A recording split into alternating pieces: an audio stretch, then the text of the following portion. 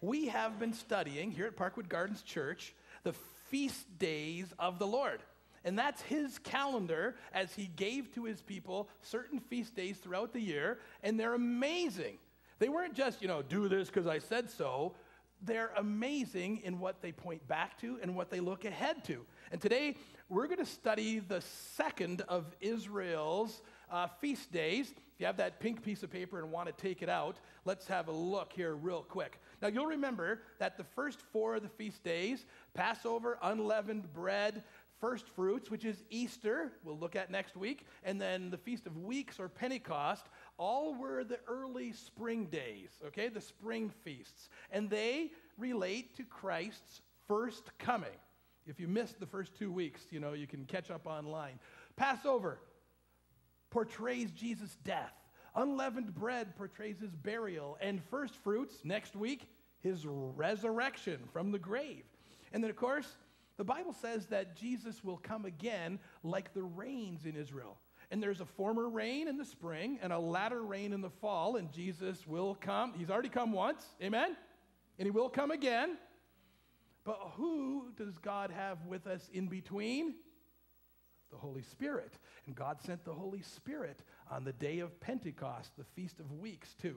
So this is exciting. Now, there are still three fall feasts to come, and Jesus will fulfill them. The feasts of trumpets and atonement and tabernacles remind us or point ahead to Jesus' return and his judgment and how we will live with God forever for eternity, all tied to his second coming, which will happen. Now, in your notes, in your notes, let's talk about these Jewish holidays for a moment. And as we look at all of them, there are several things that we're learning. One, the holy days were given to us by God as appointments between himself and his people appointments, things we're to keep, to remember, to put in our calendars, to talk to Him, between Him and all of His people, because there's a point to each one. Says to Moses, He says, Speak to the Israelites and say to them, These are my appointed feasts, the appointed feasts of the Lord, which you are to proclaim as sacred assemblies. Times to get together. Now, sacred doesn't mean it has to be somber and sorrowful. Now, that will be kind of the tone on Good Friday because we're thinking of Jesus' death. But these are sacred assemblies, times to assemble, to have joy, to look to, God and all that He has done. Indeed, we look both backwards and forwards. In your notes, you've got your pen handy, the feast days look backwards, all of them related to the Exodus and how God brought them out of slavery to Egypt. And they all point ahead, as we saw a moment ago, to the Messiah and what he would do and be.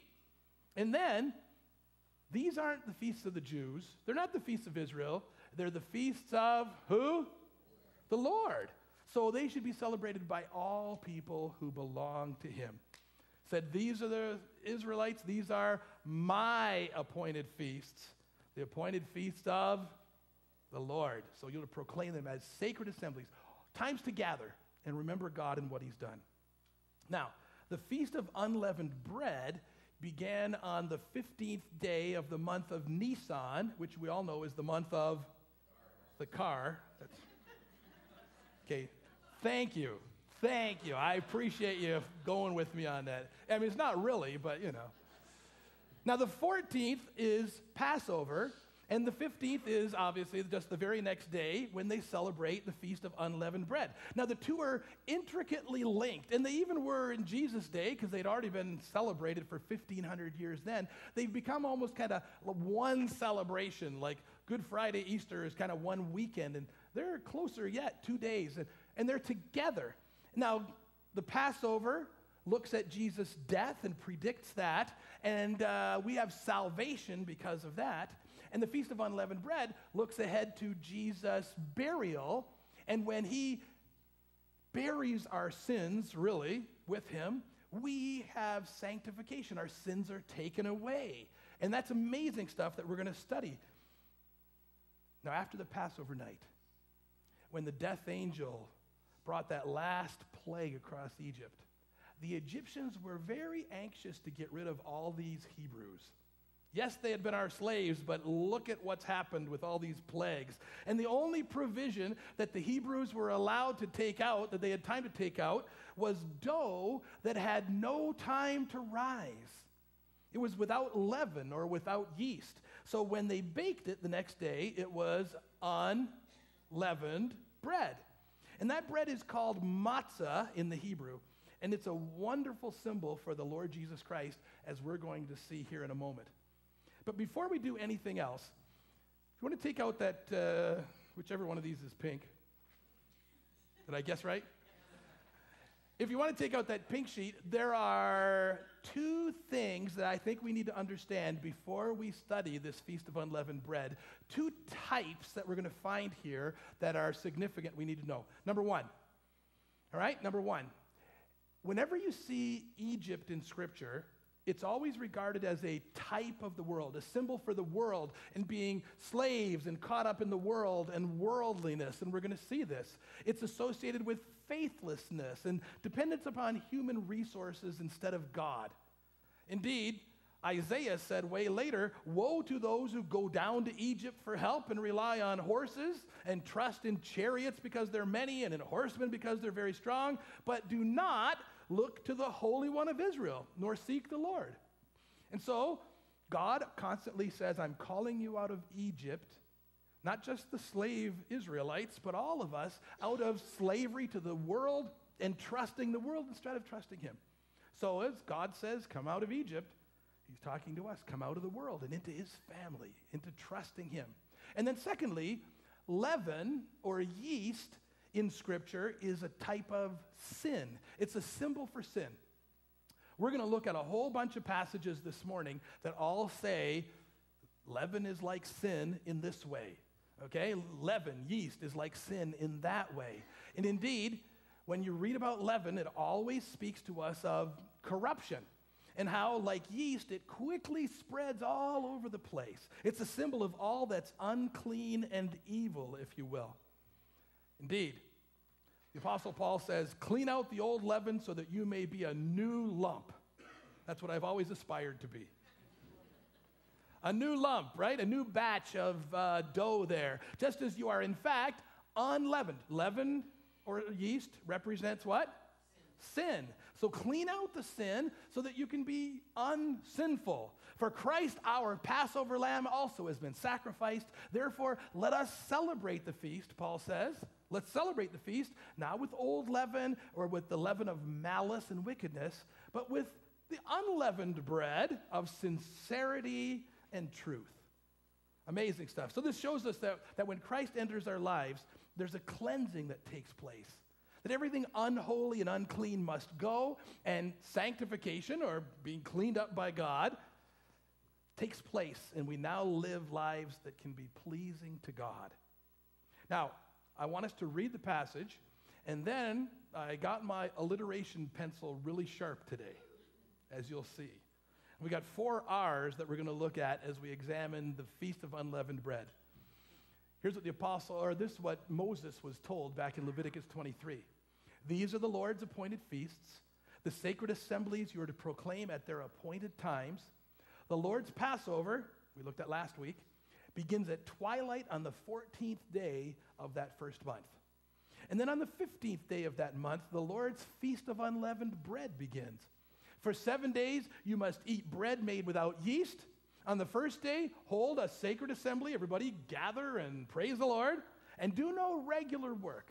For seven days, present a food offering to the Lord. And on the seventh day, hold a sacred assembly and do no regular work. Ah, so I want to begin our study by considering first, here's the first R. You ready? The requirement of the Feast of Unleavened Bread. What was required of the people? Well, we just read it very quickly. First, all yeast or leaven was to be removed from the homes. All of it was to be removed. Now, seven days, eat the unleavened bread. On the first day, remove the leaven from your homes. Now, you always wondered where spring cleaning came from? Seriously, seriously, this is where it came from. 3,500 years ago, God said, spring cleaning, clean out your places. And they did that. And the Jewish people this time of year, they'll go through their homes with a fine tooth comb to ensure that not one bit of yeast is in the house. Now, where do we find yeast in our homes? Yeast is where? In what? Bread? Bread? Pardon? Beer, okay. Where else? Come on, you're missing the most important one. Donuts. and cookies, that's right. Get rid of this is torture. God says, get rid of this stuff. Get it out of your house. Now, there's a point to it. Now, there's a vital truth to this. You see, Passover was, well, and then secondly, after you've got rid of all that yeast, you eat stuff without yeast for the next seven days. Seven days are only to eat bread without yeast. Interesting. Now, this is important. You see, Passover, the day before, was just one day. One day and it's done. And again, the Passover was a type of Christ's death. At Calvary, the work of redemption was done. Our salvation was paid for completely 100% by Jesus on that day on the cross. Amen? It's not plus this from us, it's done. But there are two feast days out of the seven that are longer than just one day. See, Jesus died, his death is done, our sin is paid for. But both of these longer feasts, which go seven days, they represent the results. Because you might do something today, but you paint your house, it takes you one day or a room, and then you want the results to last. Amen? Jesus died on the cross to pay for our sins, and now when we ask Him into our lives to help us get rid of the sin, that's not why, but a part of it, we want that to last. And so these lasting, longer feast days remind us that Jesus died not just so that we could say some quick prayer and buy fire insurance, but so that our lives can reflect that He takes away our sin and our character now is more and more Christ like. Amen? So that's an important thing. And this unleavened bread is a picture of the character of the believer's life after we become a Christian. Now, thirdly, this high Sabbath, the third requirement, is that it's to be kept as a perpetual memorial. What does God say? On this very day, I brought your people out of the land of Egypt. Therefore, celebrate this day as a what? Lasting ordinance for the generations to come. A lasting ordinance. Now, it's a Sabbath, it's a Shabbat because you're not supposed to do any work. It's a high Sabbath because it's not just the regular every Saturday Sabbath. And do it constantly. Because when you do, you look back to remember how I brought you out of slavery and ahead to look at how I will do that for your whole lives when I pay for sin and the slavery to sin. It's amazing. And keep doing that. Think about it every single year. For 3,500 years now, the Jews, as they celebrate this, fa- this Passover or this uh, Feast of Unleavened Bread, remember coming out of slavery and how God wants us to be gone from the slavery of sin too. So, that's the, re, that's the requirement of the feast. Let's look, second R, ready? At the ritual of the feast. What were they to do? What was a Jewish person to do to celebrate the feast? Number one, the women, and maybe with the help of the children, would remove all the yeast from the house except 10 pieces. Wow. Now, they are, most houses, you know, spring cleaning. They started 30 days ahead, and they're working and working diligently to get rid of every little beast, bit of yeast and beast. To get rid of it all, including everything that might have some yeast in it, too. And then as night falls on the 14th of Nisan, this is Passover, a symbolic ritual cleansing of the house begins.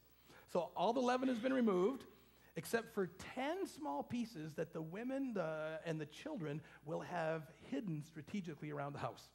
And then, of course, the father then removes the rest and burns it outside and claims that he cleaned the house. You all know how that goes, right? But here's what he'd do. The father would take with him a candle and a feather and a wooden spoon and a paper bag. Say, what? And then the father would go around the house and he would be looking for these 10 bits of yeast that have been left behind. And when he found one, first he would take, he, he, and by the way, if there are the modern days, you turn off the electric lights and you, you know, use a candle. And if he found a bit of this yeast, he would take the feather and he would scoop it into the wooden spoon. and then he would take the wooden spoon and put it into the paper bag, the yeast in the paper bag, and then he, when he got all 10, he would take that outside the house and he would burn it. I love that because remember, all this is about getting rid of sin, and we want it burned and no longer gone. Amen? And the father would say this prayer as he burned it Any chametz or leaven which is in my possession, which I did not see and remove, nor know about, shall be nullified and become ownerless like the dust of the earth. In other words, if I missed any, it's not my fault. you know what? I, this makes me laugh and cry because I think that's us with our sin. We're working hard to you know, maybe self-help you know self-help books trying to i can be better and we're trying to do it all our own but we never can fully without the help of god. Amen? We can never pay for our sin. Only jesus does that. And, and we might say it's not my fault but we have ownership of the things that we do and the thoughts that we think. And hopefully with the help of god and that's what this feast is about those sins are nailed to the cross, buried with Jesus, and the chains to that sin, the chains are broken. So, what's the relationship then, thirdly, of this feast of unleavened bread? Because we know that all the feasts not only looked backwards, but they all looked forward and pointed to the Messiah. So, what's the relationship of this feast with Jesus, the Messiah? Each one is pictorial. And number one, Jesus chose bread to symbolize his body. You know, this happened even before he was born. Where was Jesus born? In Breadtown. Breadtown. You didn't know he was born in Breadtown? Where did you think he was born? Bethlehem. Bethlehem. Yes. Bethlehem is Beit Lechem, which means house of bread. Wow, even before he was born, he was born in the house of bread. And then, that was his beginning. The last night before he goes to the cross, he took bread and gave thanks and broke it and gave it to his disciples, saying, This is what? My body, which is given for you. So he said, He represents bread, or bread represents him and symbolizes his, his body. And at that night, in that Passover, as he took the bread, and if you missed it, you, you need to check out last week's message online about the Passover. There's three, three loaves of matzah, and he took the middle one out, and this was all part of the Passover meal, and, and broke it in half. And as he took that and broke it, he was even telling those disciples what would happen the next day using the bread and why. Because he says, This is my body, which is what? Broken there on the cross. And why? For you. As he did that to pay for our sins there on the cross. Number two, the relationship of this feast to Jesus is that unleavened bread is a picture of Jesus' death and burial. Not just in the matzah that he used there and, and uh, broke in half and hid the one half called the Afikomen and then brought it back later. It was found later, just like his body would be buried and then come back. But Jesus prophesied through the psalmist a thousand years before about how his body would never be corrupted. He said this from the Psalms, Psalm 16 You will not abandon me to the realm of the dead, or Sheol in Hebrew, nor will you let your Holy One see decay or corruption. And what is the symbol for corruption there in the Bible? It's leaven or yeast, indeed. And so, really, when Jesus is buried, you could say his body was like the unleavened bread in that it was an unleavened or unsinful, I made that word up, a sinless body that was there. And not only there, but the Jewish people believed that the body started to decay after the third day. And of course, Jesus rose from the grave before that could happen. So indeed, his body didn't see corruption either through sin or through decay. And when was Jesus there in the grave? At the very time where they were celebrating the feast of unleavened bread. It's amazing stuff. So, unleavened bread is a picture of his burial. Number three, and his death. Number three, Jesus chose bread to symbolize our healing and salvation. Not just representing his death and burial, going back to his birth, but it represents his death or his our healing and salvation. Look at what he says there in John chapter 6. Now, he has fed the 5,000. Remember the story? Crowds following all day. What do we have to give them? Well, little boy's got a lunch, you know, five loaves, two fish. Jesus prays, blesses, multiplies them. Thousands are fed. And then he looks out at them and he says, I am what? The bread of life. Now, your bellies are all full. Now, listen to me. I'm the bread of life. Whoever comes to me, comes to me will never go hungry. Whoever believes in me will never be thirsty. And whoever eats this bread will, ne- will live forever. Wow, salvation is there.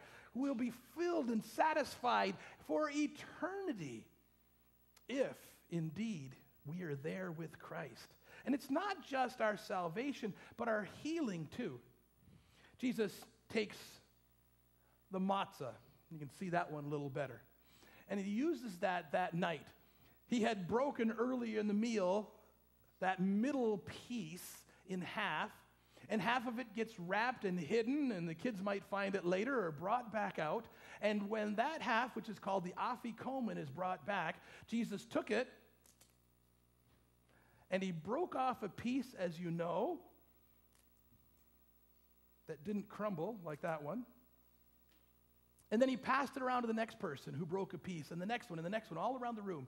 And he looked at them and he said, This is my body given for you.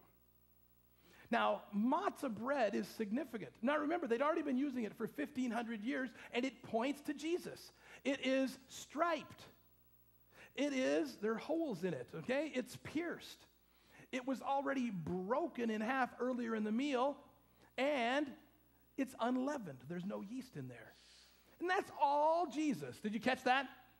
Jesus was striped. The Hebrew word that says that his stripes heal us, it's stripes, it's wounds. And then he was pierced, hands and feet and side.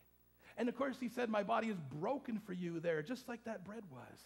And it's unleavened, just like Jesus' body, Jesus' life was unsinful, no sin, so that when he died, who was he dying for? Us. Not for his own sin, he had none.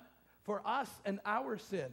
And look at what was written 700 years before. He was pierced for, for our transgressions, he was crushed for our iniquities. The punishment that brought us peace was on him, and by his stripes, just like on the matzah, we are healed.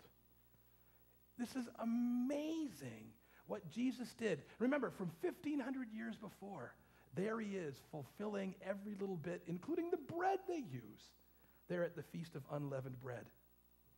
Now, our lives are to mirror Jesus' life. This was a feast that went on for seven days, which those feasts weren't just a one time thing, but, but what the results should be. So, because Jesus dies without sin, so he could pay for our sins, he was buried, the sin buried with him, what should be the results for us? Well, we should be removing the sin or leaven out of our lives today. Amen? You agree? The chains of sin are broken, sin is paid for. So I started looking, and, and, and Jesus talked a lot about, you know, the leaven, the sin, and how it can spread so quickly and infect us so badly. So I, I've got, again, there's four D's here. You ready? I've got four places where it talks about leaven that we need to get rid of. Four types, if you will, four kinds of leaven or sin that can get in our lives and spread quickly. Here's number one it's the leaven of hypocritical deceit. Hypocritical deceit. Jesus said that. He said, Beware of the leaven of the Pharisees, which is hypocrisy. Oh, the leaven of the Pharisees is hypocrisy. Well, that's interesting. Now, the word hypocrisy in Greek is hypokrisis, which basically is the name for an actor. It's what an actor does. An actor is one person but pretends to be another person. And they wore masks in the Roman days, in the Greek days. And so they were out there pretending to be something they weren't. And hypocrisy is something that Jesus says that too many people, the Pharisees and maybe us, he says, beware of this. We're like that. Now, hypocrisy is maybe professing Christ without possessing Christ. It's about trying to look good, to have a big show before others. Now, look at how Jesus uh, detailed it. He talked to the Pharisees and said, You hypocrites! And I'm pretty sure he was shouting at this time. Really. Isaiah was right when he prophesied about you. The people who honor me with their lips, but their hearts are far from me. They worship me in vain. Their teachings are merely human rules. Wow. Now, sometimes I think we feel like hypocrites when we sin. But hypocrisy is not about sinning, it's not about failing to live up to the standard, it's about pretending to live up to standard when I know that I'm not. See, hypocrisy is always about pretense. A little confession for you. I, when I was a teenager, late teenager especially, I, I felt I lived a pretty defeated Christian life. I mean, I was in church all the time. My dad was a pastor. I looked pretty good, you know, and stuff. And I was the head, you know, that time the youth group had a president and secretary and stuff. And I was the president of the youth group and all. But there was stuff in my life that wasn't right. And Satan was constantly whispering in my ear, You are a hypocrite. You're a terrible person. You'll never get better. If people only knew, you're horrible. I got to tell you, my life turned around completely when I had somebody come alongside me, when I confessed to them how I felt and what I was feeling, and said, You know what? You're listening to Satan and not the Spirit. See, the Holy Spirit will point things out in your life that need to be fixed and encourage you to fix them. Whereas Satan will point out things in your life and say, You are a horrible person, look at this. You ever feel that way? You ever have those thoughts whispering? The Holy Spirit will encourage you. Yes, point out things that need to be fixed, but give you the power, the power to fix them. And that's what this is all about. When I pretend nothing's wrong, that I'm wonderful and fine, that's hypocrisy. And God says, boy, that'll start and it'll grow. Don't let it happen. Get rid of the leaven of hypocrisy in your life. Amen? And then there's a second thing he said. By the way, he said if we get rid of that, then we can be that unleavened bread with sincerity and truth, not hypocrisy. Now, here's the second place he talks about leaven. He said there's the leaven of worldly desire said, Watch out, beware of the leaven of the Pharisees and the leaven of Herod. Herod, that's interesting. Now, we already talked about the Pharisees. Herod. Now, does he mean one Herod or all the Herods? Because, see, there was Herod the Great, and then he had sons and grandsons, and all of them were like kings and tetrarchs and rulers all around Judah and Galilee. Now, indeed, uh, there's Herod the Great, and Herod Archelaus, and Herod Antipas, and Herod Philip II, who the Bible calls Philip the Tetrarch, and Herod Agrippa the first, and Herod Agrippa the second, and like a wonderful family, they were all horribly bad. Yikes. Now, we know Herod the Great. You know him. He was an insecure ruler, a ruthless politician who only cared about his own pleasure and his own power, to the point that he killed wives, his own wives, and his own kids and was willing to kill, you remember, all the baby boys all around the region up to the age of two because some wise men had told them there might be another king of the Jews around. Wow. Luke writes about all the evils of that Herod had done. Well, he had a son named Herod Antipas, and Jesus called him that fox because of the things that he did. This is the guy who beheaded John the Baptist to satisfy the bloodlust of his mistress, Herodias. Well, that sounds good. And then there's Herod Agrippa the first, who the Bible says vexed the church and martyred the apostle James in Acts chapter 12. Then there was Herod Agrippa the second, who was the man who tried the apostle Paul and sent him on to stand before Caesar. This sounds like a great family, doesn't it? And Jesus says, Beware the leaven of the Herods. Okay, so what is that? Well, the Herods were hedonists. And like all hedonists, all they wanted out of life was a good time. It's all about me and what I have and can do and can enjoy.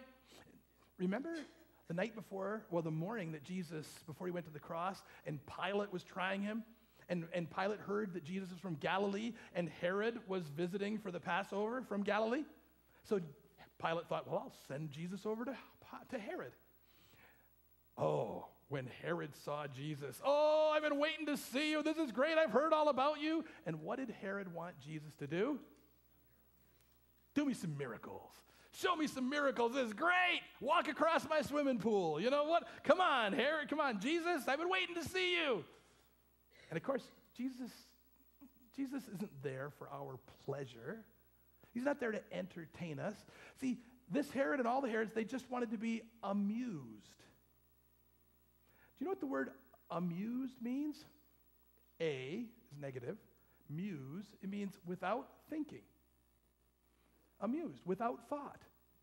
And I, I wow, I'm kind of saddened by that because I really think that's so many people in the world and perhaps many Christians we thoughtlessly just uh, chain ourselves to the TV or a game console or the shopping mall or hockey, and, and, and we're going through life just to be amused and filled with pleasure, and we never stop to think about God, about what Jesus has done for us, about eternity, and if we're truly ready by having asked God to forgive our sins, and now we're living for Him more and more sinless every day.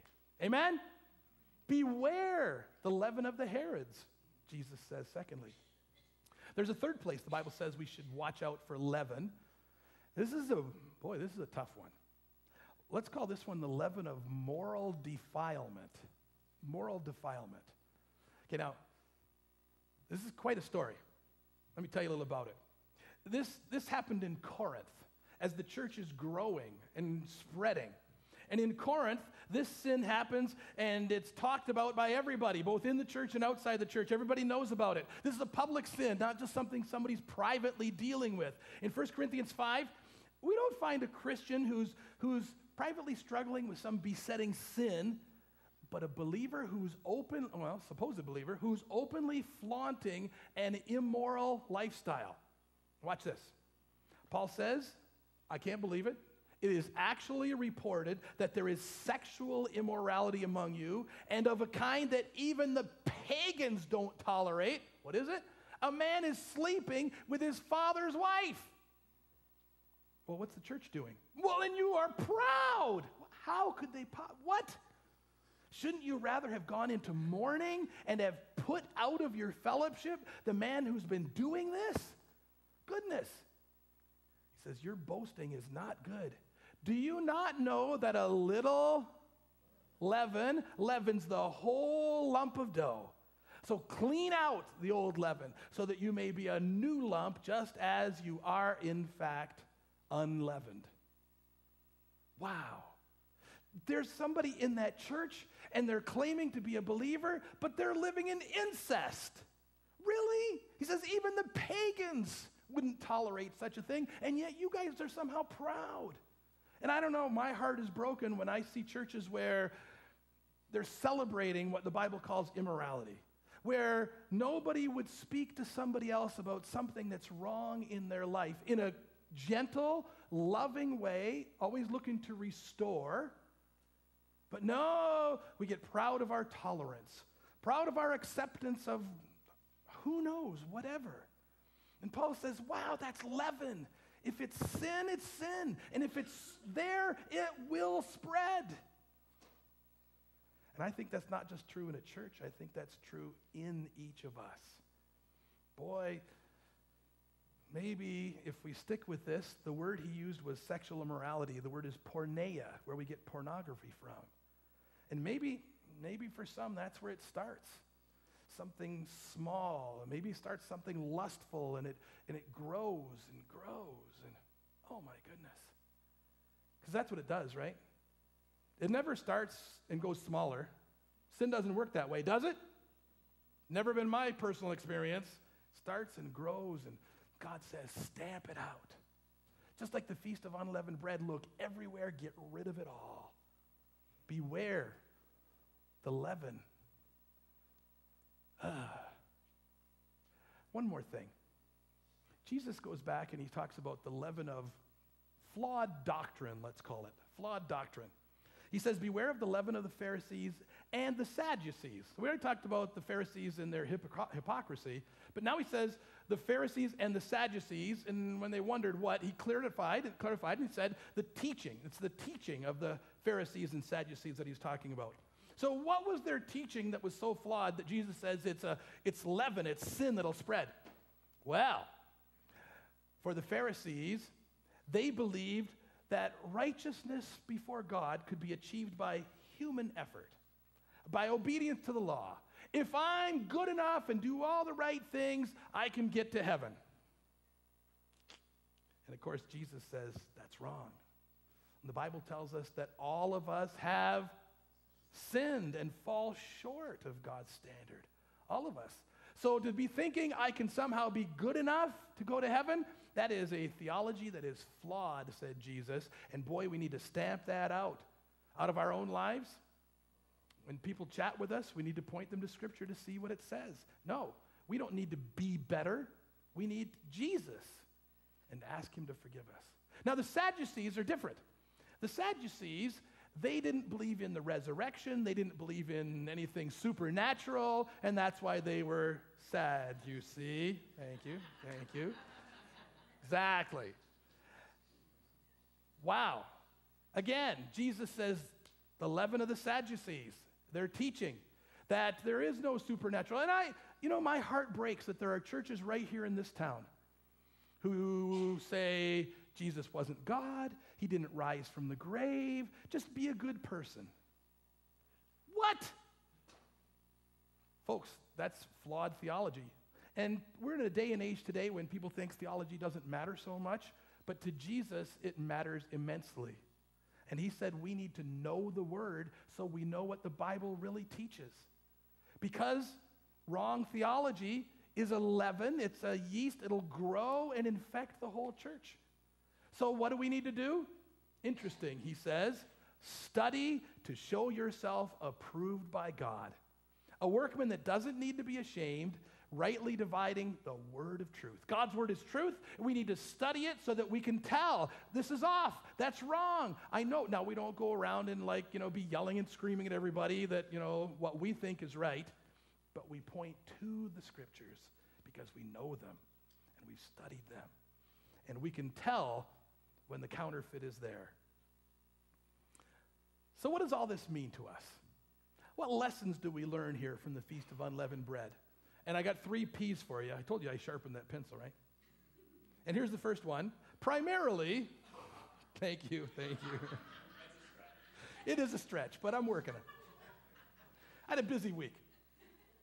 Primarily, the Feast of Unleavened Bread reminded the Israelites of their flight out of Egypt and of the sweet taste of freedom. All these feasts, okay, stop laughing. All these feasts look backward and forward and looking backwards, it reminded them that God brought them out of slavery, and it reminds us today that God brings us out of the slavery of sin too, if we would follow him. And then, number two, prophetically, it pointed to Jesus. It looked backwards and it looks forwards. Jesus who takes away our sin. Jesus who was buried without any sin. There was no corruption in his body. Jesus, John the Baptist says, is the Lamb of God who does what? Takes away the sin of the world. But practically, number three, practically speaking, the Feast of Unleavened Bread addresses a number of issues that might potentially be in my life today. And I think we need to ask ourselves this morning Am I living hypocritically? If so, I need to get that leaven out. Am I surrendering to worldly desires or worldly values? That leaven has to go. Amen? If I'm living for the world and my own pleasure and all that instead of God, that leaven has to go. Okay, just checking. Am I guilty of glorying in sin? Maybe my own or maybe the sin of somebody else? May God forgive us. We never should tolerate sin in our own lives or, or uh, open wanton sin even in the church. And then, am I careless in my handling of the Word of God? Am I maybe starting to accept some beliefs which aren't true, which are contrary to what God's Word says, when I know what the Bible says?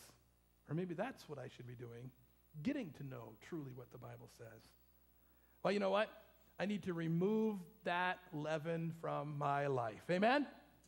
That sin has got to go, and God will help me if I'm willing. The worship team's going to come now, and we're going to sing one final song. But at the end of that song, I'm going to ask if any of the deacons who are here this morning could just come to the front. And if you want to come and pray with one of them, maybe about one of these things, but about anything at all on your heart, they would be happy to pray with you about that. Would you bow your heads with me and let's pray? Father, I thank you this morning that even as we study this little known feast, the Feast of Unleavened Bread, God, it has pointed us to amazing things about Jesus and how he takes away our sin and, and how indeed it was all prophesied, even to where he was born and what he would say and do as he buried our sins there. And God, this feast lasts seven days. It's supposed to last. And, and the difference in our lives when we've asked Jesus to forgive our sins, that's supposed to last too. It's supposed to translate into character for us. So, Lord, if there are any of these sins, this leaven in our lives today, or other things that your Holy Spirit would point out, may we, God, deal with it in prayer. Maybe share it with a trusted friend. And we ask for your power to conquer it in the name of Jesus. Amen.